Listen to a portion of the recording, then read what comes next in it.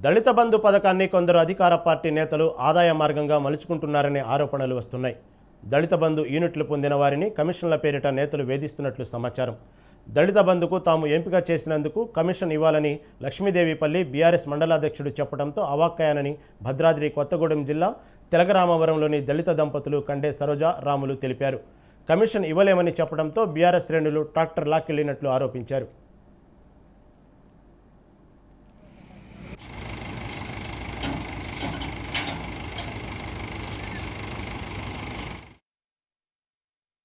అదే. నాకు దళిత బంధు ట్రాక్టర్ వచ్చింది. వచ్చిన ఆరు నెలల తర్వాత నాకు లంచం రెండు లక్షల కమిషన్ ఇవ్వనని ఆ వెంకటేశ్వర్లు అంటే బాగా ఇబ్బంది పెట్టినాను అది నా దగ్గర డబ్బులు దొరకవంటే నా భార్య గుండె ఆపరేషన్ అయింది నువ్వేం చెప్తావు వచ్చాయి నాకు డబ్బులు కావాలి నాకు అర్జెంట్ అని అని అడిగితే నా దగ్గర డబ్బులు దొరకవండి అని చెప్పిన. చెప్తే నాకు టక్కు గుండి తీసుకెళ్తాను నేను టక్కు ఏరేటోళ్ళకి పెట్టి నేను డబ్బులు తీసుకుంటా నాకు డబ్బులు అవసరం ఉన్నారు అని తీసుకెళ్ళాను నేను నాకు ఆరు నెలలు టక్కు తీసుకెళ్ళి. ఇక నాకు ఎవరు చెప్పుకోలేక నా దగ్గర డబ్బులు ఎలాగ తెచ్చుకోలేదు అన్నీ ఉండిపోయింది